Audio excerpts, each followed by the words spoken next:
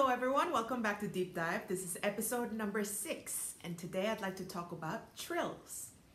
So, this week I've been thinking about um, why composers write trills in their score and uh, what kinds are there, and of course, how to play them, how to work on them, and um, for them to really shine um, within a piece. So, let's get to it. So trills, by definition, it's really two adjacent notes that are oscillating um, quickly. So two adjacent notes that are, you use two fingers. I usually use one and a three because those are uh, easiest for me. But um, they really, uh, you should be able to play them quite equally in any two of your fingers. Uh, trills, uh, most simply, uh, exist to um, ornament a note. Just like little earrings on a person, it doesn't change the person, but maybe it elevates how they look or uh, gives them a little bit of um, shine. For example, in Bach's Fifth Suite um, in Allemande, in the very beginning, uh, you have this. I will play it without the ornament, without the the trill and see what it sounds like.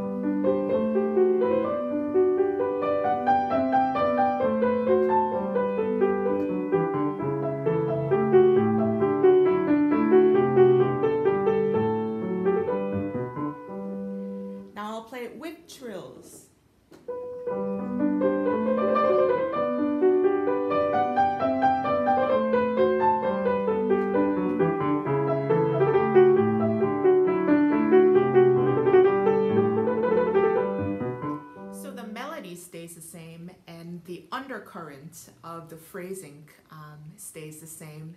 It's just a little bit different and we get to hear the same phrase um, in a slightly different light.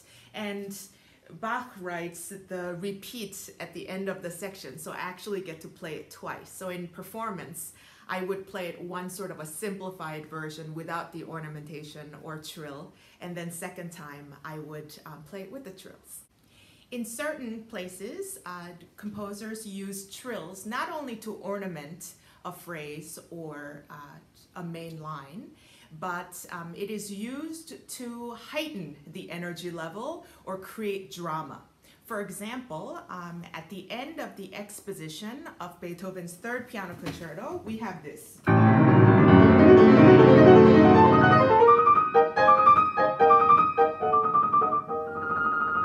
This trill starts it's a long trill, long way to go, so you start very soft.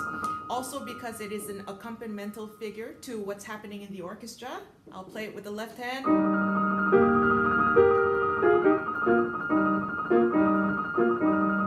Until there, I play very softly and then it makes a turn. Everything changes with this E natural because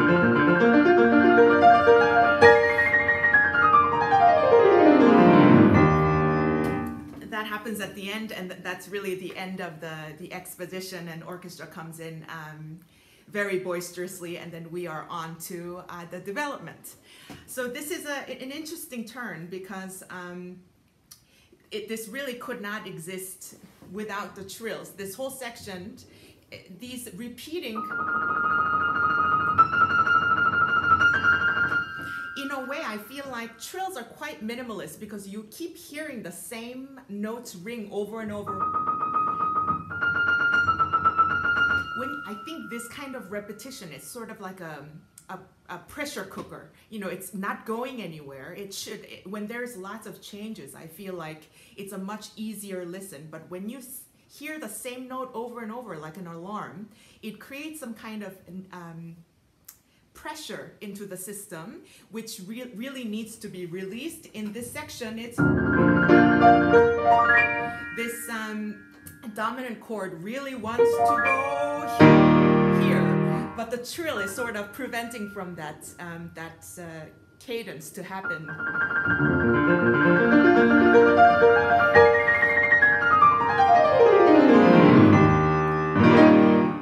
The last notes of the left hand that um, the cadential moment um, occurs. And I think this, without this trill, that arrival could not happen because if I were to just stay on one note,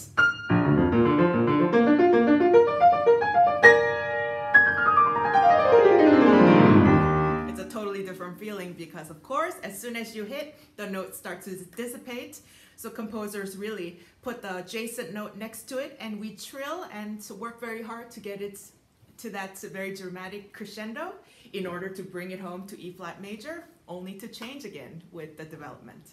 Another example of a trill that um, really decides where uh, the direction of the phrase is going is in the second movement of the Rachmaninoff's third piano concerto.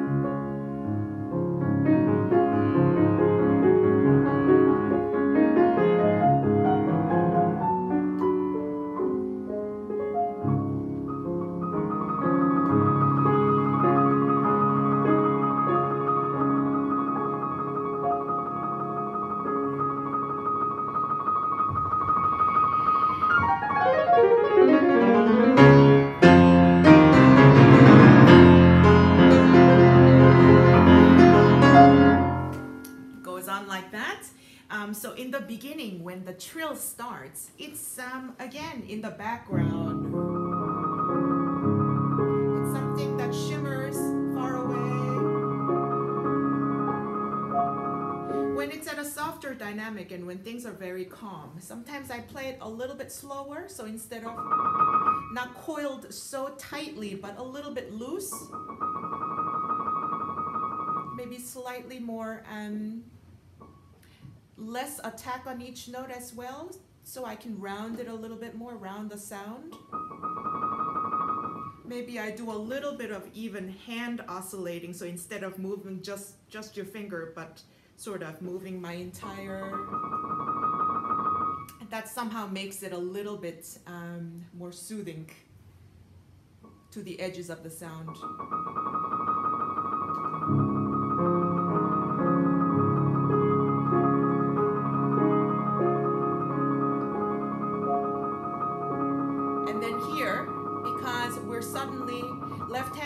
Away and we notice this as the main force, coil it. So when it becomes a different character, you have to change really the speed of the trill from this to maybe the crescendo. There's a little crescendo involved which um, adds to the tension and when that happens, I feel like um, it's sort of like the rubber band that you've been going like this and then it, it just pops and you let go. So you have to really be ready because actually that's a very exciting thing to play and um, sometimes I have too much fun and then this whole scale becomes much more difficult.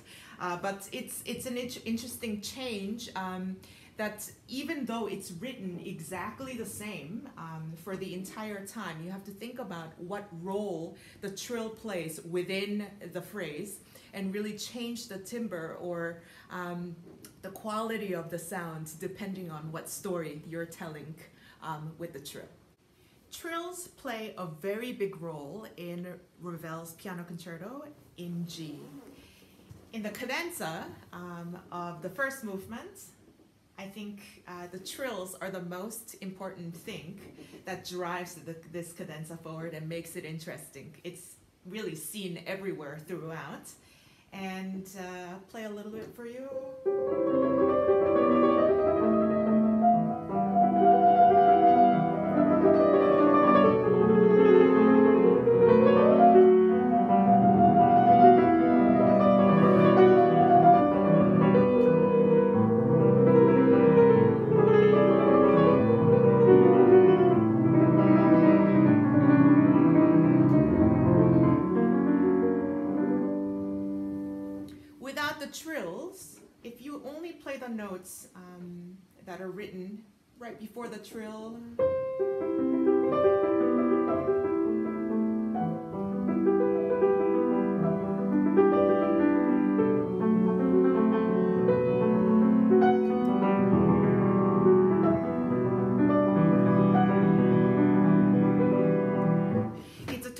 Different texture. It's a different piece, really. Um, so, why did Ravel write these trills? I think um, for me, it's it creates a, a very special texture because um, he always trills the one. Um,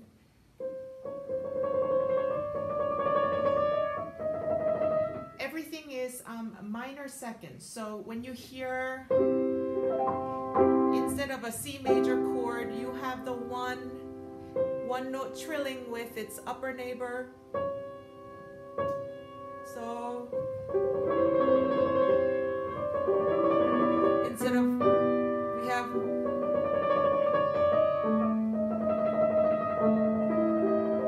instead of you have this really beautifully fragrant um, next door neighbor that is really seeped into uh, otherwise a very pristine landscape.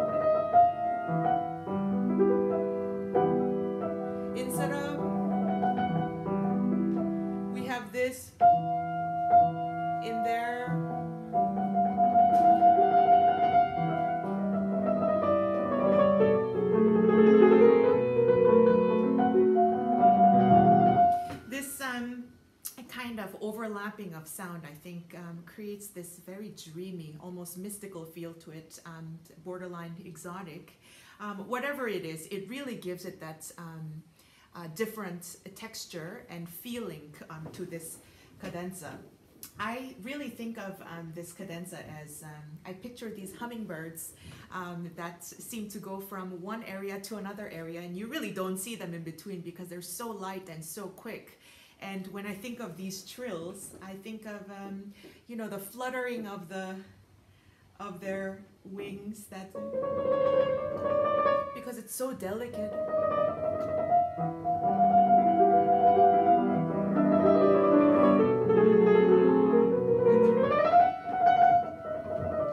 You know, there's that that change in um, where they are depending on where the melody takes me. This is a very whimsical and um, very mysterious a little bit that um, I practice quite a bit before I play the Ravel concerto. So um, a very, very unique use of the trills here.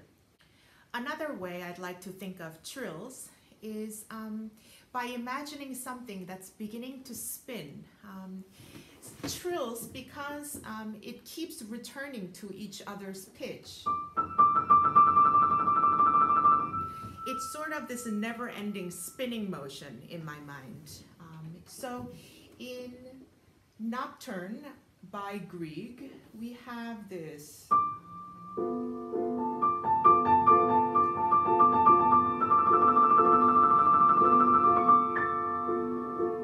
So even though the trill part starts in the right there, but right before the trill we have this. He writes da da pa da ta da, and then a little bit faster, and then the trill. So in my mind, um, he's simply signifying for the pianist to um, sort of nudge the spinning motion forward with the.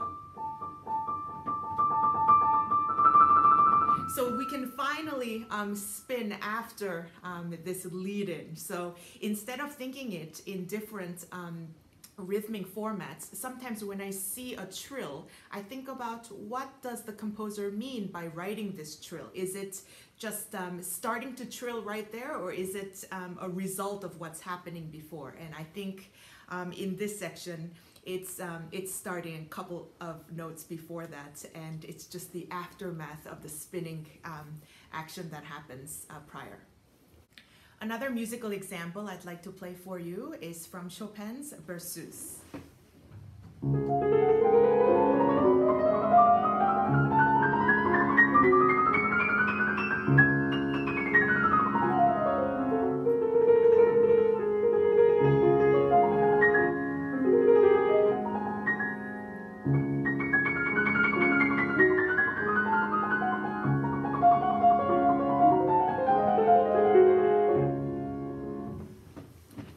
Section, even though it's not a perfect trill, uh, the figures are. it's going up like that, but there is a figure that returns to the original note. So when it goes up, comes back down. And this return to the first note kind of reminds me of a trill. And ultimately, it ends up in the ends up with the trill. So in a similar way as the Grieg, I feel like this this little returning phrase um, that brings us all the way up, and then when it comes down, we go into a trilling section. Um, this place really reminds me of those um, prism uh, that seems to catch the light or models that you hang outside and the wind makes it spin and we see all different angles as it spins.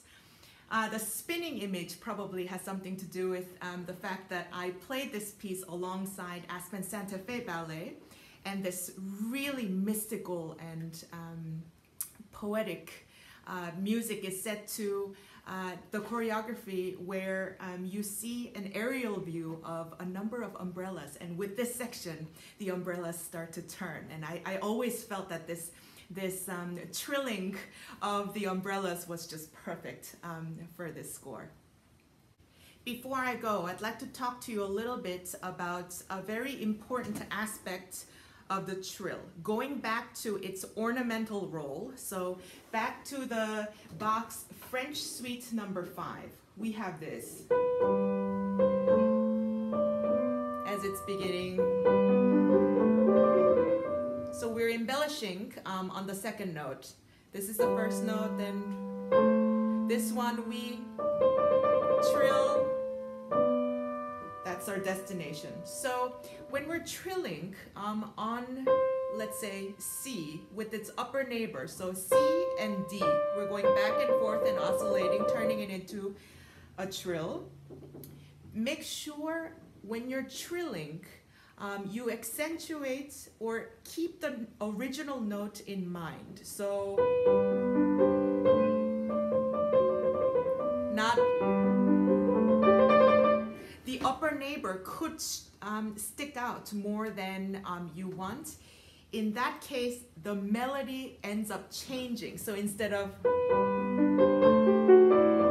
you start hearing You see, so it's like the ornament became the main item if you are not careful. So make sure that um, the ornamental um, pitch of the trill is really a little bit underneath um, the, the main notes that you want to hear.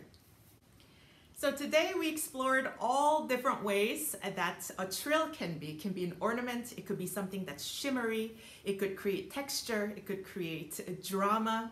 It has so many roles. So next time you see one of those squiggly signs on top of certain notes or see the word, word trill on top of certain notes, um, I hope you give all these options a try to figure out exactly which one fits the best. Thank you for listening. See you next time.